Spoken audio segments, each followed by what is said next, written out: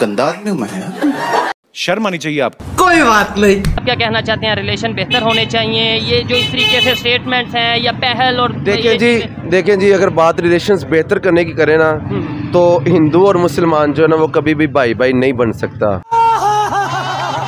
तो हिंदू और मुसलमान जो है ना वो कभी भी भाई भाई नहीं बन सकता। बिल्कुल है कोई दो राय नहीं हो सकती। खास तौर से पाकिस्तानी या इंडियन मुस्लिम मुझे बोल के जाते हैं कि मैं नफरत फैलाता हूँ मैं नफरत की बात करता हूँ। और ये लोग वो है जिन्होंने प्यार से काफ़ी साल पहले भी हमारी पीठ पे जो है ना छुरा वो घूम पाता अच्छा बात नहीं है और हमें लिहाजा इनके ऊपर बिल्कुल भी एतबार नहीं है।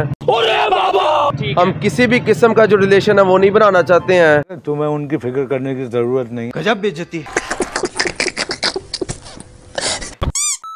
इंशाल्लाह अल्लाह ताला के फजल करम से इस ईद की बदौलत क्या? क्या?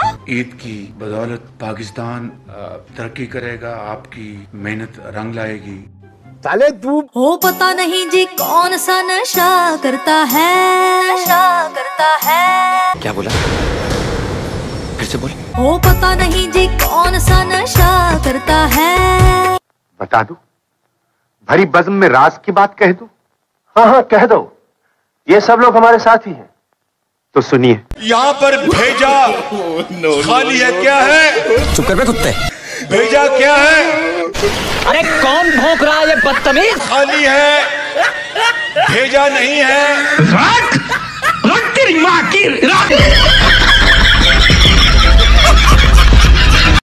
पाकिस्तान ऐसा मुल्क है जिसने भीख मांगने के लिए भी एक प्रधानमंत्री रखा हुआ है। आपने देखा कि चंद दिन पहले अल्लाह ताला के फजल करम से आईएमएफ के साथ पाकिस्तान की डील बेपना काविशों के बाद वो एक मंथ की इंजाम पर पहुँची। जो हाथ फैला के बेकारियों की तरह दुनिया में सारी दुनिया में फिरे खुद तो शर्म नहीं आती कौम को भी शर्मिंदा करवाएँ। हमारे हाथ दो हैं लेकिन कटोरे हम लोगों ने तीन तीन पकड़ लिए।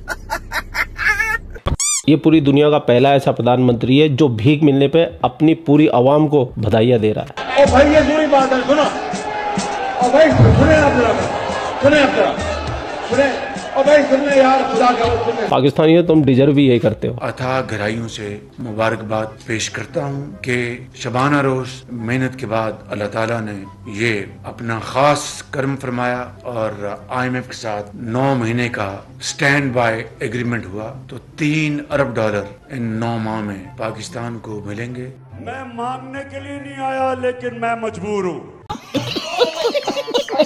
आलमी एहतजाज के बावजूद बकरीद में भी फिर मुसलमानों के कलेजे पर जैसे छुरी फेर दी गई हो। और एक जानब हम देखते हैं कि दो अरब मुसलमान अपने रब को राज़ी करने के लिए कुर्बानी कर रहे हैं। और दूसरी जानब, स्वीडन के दारुल हुकूमत की जो मत की जो मरकजी मस्जिद है, उसके बाहर एक शख्स कलाम अल्लाह की बेहरमती और उसे नज़र आतिश कर रहा था। दिल गमजदा है और आँख अशकबार है। काश वो बदनसीब इन मुकदस सफात को खोल कर एक बार पढ़ लेता तो कभी ऐसा ना करता। बार पढ़ लेता तो कभी ऐसा ना करता।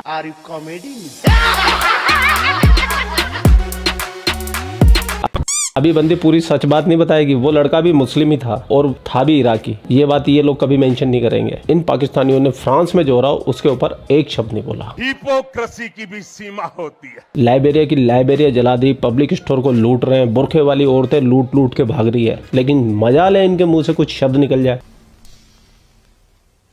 मुसलमान ममालिक शदीद अल्फाज में इस अमल की मजम्मत कर रहे हैं। और मुझे पूरा यकीन है कि ये सारी जो कोशिशें हैं मुझे और आपको इश्तियाल दिलाने की खातिर हैं। ये इस दौर की आप बदकिस्मती कह लें कि चंद शैतान के पैरोकार सस्ती शोहरत के लिए मुसलमानों के जज्बात को ठेस पहुंचाते रहते हैं। लेकिन पहले मैं जरा स्वीडन और डेनमार्क के उन सियासतदानों से मुखातिब होना चाहूँगी जो महज अपने सियासी फायदों के लिए कुरान पाक की बेहरमती के वाकयात की पुष्पनाही कर रहे हैं। वो मज़हब इस्लाम जिसके मायने ही अमन के हैं अमन के मायने हैं जिसमें हर शख्स दूसरे की सलामती का खाहा है जो काले गोरे अरबी अजमी में फ़र्क नहीं करता है जो बर, बर, बर्दाश्त का मसावात का दर्स देता है। और ये बातें कितनी बड़ी बड़ी करते हैं इन्होंने खुद अपने पाकिस्तान के अंदर सारे हिंदू मंदिर तोड़ दिए हिंदुओं को तोड़ दिया। डेढ़ परसेंट हिंदू नहीं रह गए जो छब्बीस परसेंट थे बंटवारे के समय में। या तो सबको मार दिया या सबको कन्वर्ट कर दिया। बात है। और दो चार परसेंट जान बचा के हिंदुस्तान भागा है और खुद कन्वर्टेड हिंदुओं की औलादे ही है।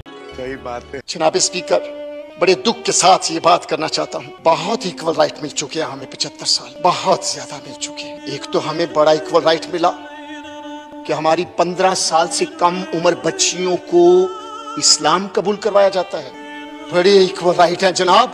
बारह साल की बच्ची को महम को पिछले हफ़्ते धंधे के ज़ोर पर इस्लाम कबूल करवाया गया।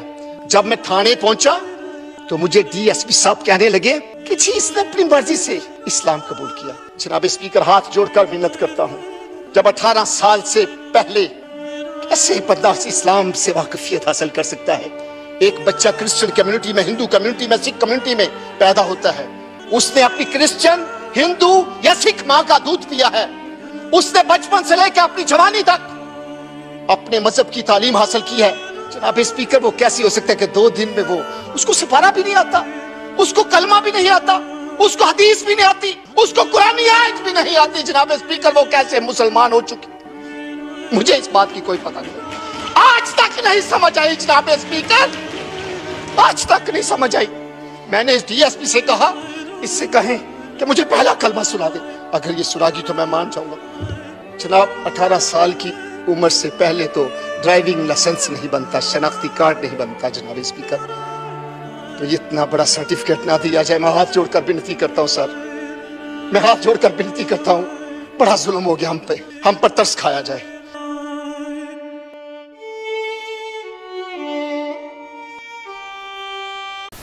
हम इंडिया को अक्सर कोट कर रहे हैं। प्राइम मिनिस्टर साहब ने खुद भी इंडिया को कोट किया।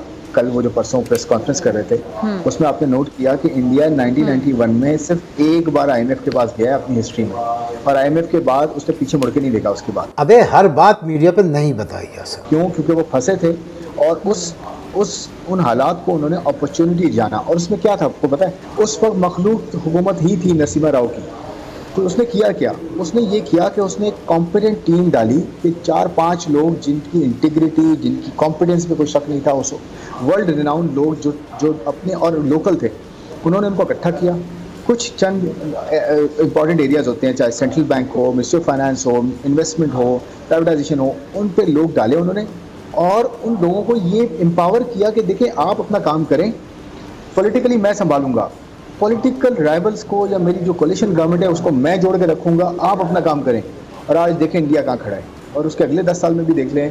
पिछले सब दस साल जब से उसने ये डिसीज़न लिया तो मैं ये कहता हूँ कि कोलिशन गवर्नमेंट भी चल सकती है, लेकिन उसको जो हेड कर रहा है, जो लीड कर रहा है, वो अगर विल है उसके पास उसके पास कमिटमेंट है, उसके पास स्किन इन द गेम है, वो वो कर सकता है। उसे पता है कि जी, मैं अच्छे लोग डालूं, उनको एम्पावर करूँ, पीछे उनकी बैकिंग करूँ और पॉलिटिकली मैं संभालूं तो सब कुछ हो सकता है। पूरा वीडियो आपने देख लिया। वीडियो देखने के बाद में आपके जो भी विचार आपके दिमाग में उमड़ घुमड़ कर रहे हैं, बादलों की तरह, उन विचारों को बरसात की तरह कमेंट सेक्शन में बरसा जाइए। आप लोग अपना ख्याल रखिए। आपका, आपके लिए पाकिस्तान से रिलेटेड वीडियो आता रहता है। जय हिंद, वंदे मातरम। जय श्री राम, जय श्री राम, जय श्री राम।